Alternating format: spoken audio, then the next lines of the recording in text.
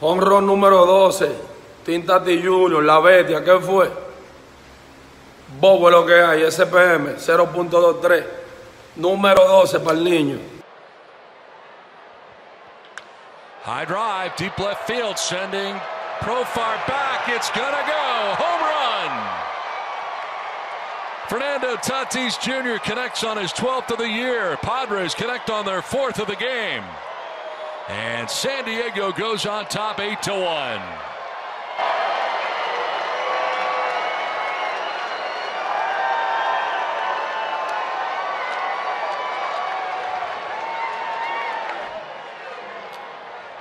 Lambert just spins one out there, and you know what? Fernando's on that front foot of his, reaches out and gets it.